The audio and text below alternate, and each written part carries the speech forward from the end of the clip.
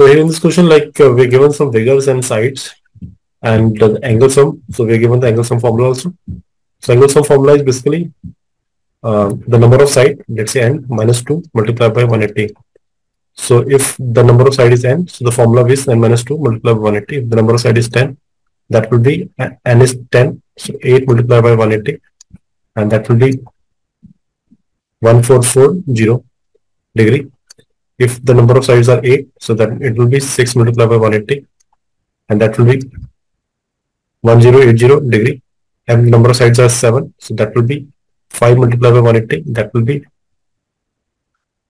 900 degree.